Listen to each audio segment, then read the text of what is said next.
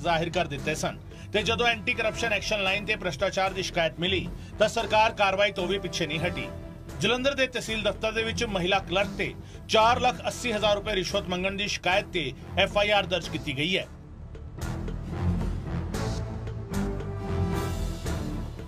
ਸਿਰਫ 3 ਦਿਨਾਂ ਦੇ ਵਿੱਚ ਭ੍ਰਸ਼ਟਾਚਾਰ ਖਿਲਾਫ ਕਾਰਵਾਈ ਦੇ ਨਾਲ ਸੀਐਮ ਭਗਵੰਤ ਮਾਨ ਦਾ ਸੁਨੇਹਾ ਸਪਸ਼ਟ ਹੈ ਕਿ ਫਿਰ ਭਾਵੇਂ ਕੋਈ ਵੀ ਕਿਉਂ ਨਾ ਹੋਵੇ ਉਸ ਨੂੰ ਬਖਸ਼ਿਆ ਨਹੀਂ ਜਾਵੇਗਾ।